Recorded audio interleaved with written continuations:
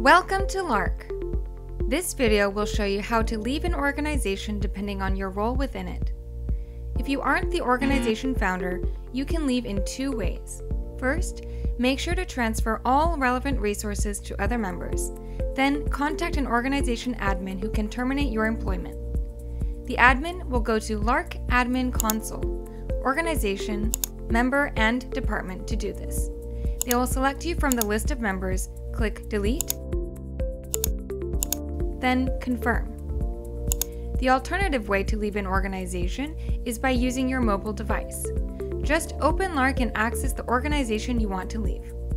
Go to Contacts using the bottom navigation bar and select your organization. Select Delete Account. Fill out a reason and click Next. Finally, verify your phone or email. After doing this, you'll be logged out of your account and your direct manager will be notified of your departure via a bot message. If you are the organization founder, you'll have to disband the whole company.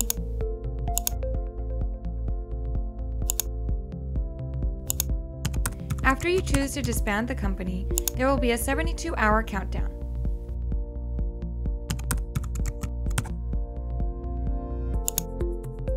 You can withdraw your disband request anytime within this period.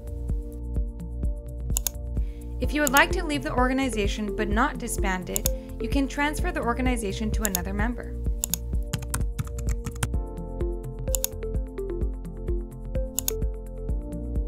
Now you know the ways to leave an organization. If you found this video helpful, remember to give us a like.